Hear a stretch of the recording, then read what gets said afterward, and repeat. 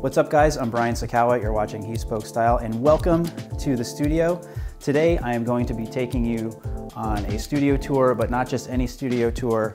This is a studio tour in 360 degrees. Now I've been wanting to show you guys the space that we create all the content, where I spend a lot of my time working during the day, and also this man cave that my wife allowed me to have in the basement of our house. So before we get to any of that uh, cool stuff, we're just gonna start off with some of the more boring things. Like for example, this is where the steamer lives, behind the door. And right over here is a small bathroom that we keep stocked with some very stylish reading material. On the wall, have a nice picture of Cary Grant right here, and on the other side of the door is a photo of Fred Astaire.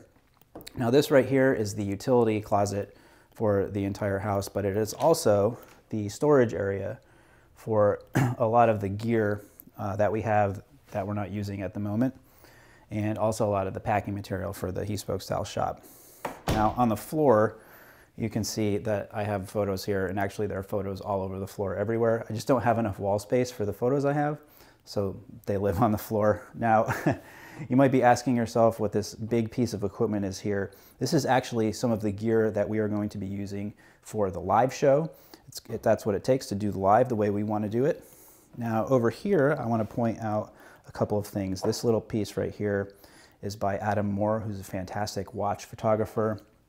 I have a letter here from Bill Clinton that he wrote me in 1996.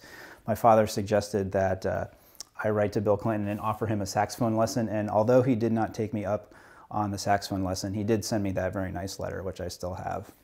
This humongous boat came from my friend Ken's menswear shop. He had the best menswear shop in Baltimore, and he retired about a couple years ago. And he got rid of a lot of the a lot of the cool things that he had in the shop, and this was one of them, including all of the photos uh, that I've showed you so far. came from his shop as well. But I really like this boat, so now it lives here. So let's check it out over here.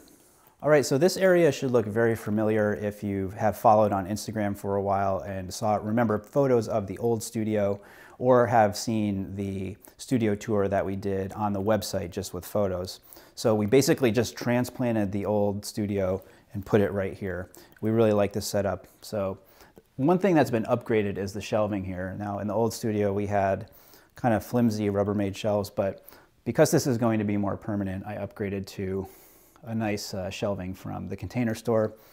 On the shelves we have some great menswear books, lots of watch catalogs, um, cigar boxes. Up at the top you can see another photo of Cary Grant. We got Steve McQueen there. One of the earliest photos that we took when we started He Spoke Style, a nice vintage uh, shave soap advertisement.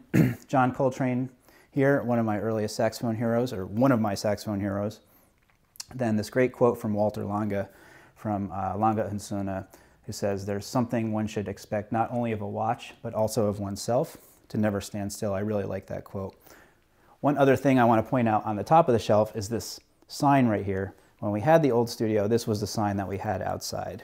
So this is where I relax and just when I need to kind of clear my head, I'll sit here. You know, if we're just going to hang out, this is where we go.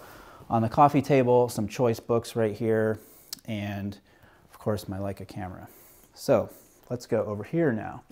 Now you can see on that side of the bookshelf, and this side of the bookshelf, it's bookended by two prints by my friend Tug Rice. They're beautiful. Dehumidifier, it is the basement. We have a wet bar here, a wine fridge, espresso machine, water cooler. This is where we have all the conversations. and uh, right here is a beautiful bar called the Corridor Bar by BDI Furniture.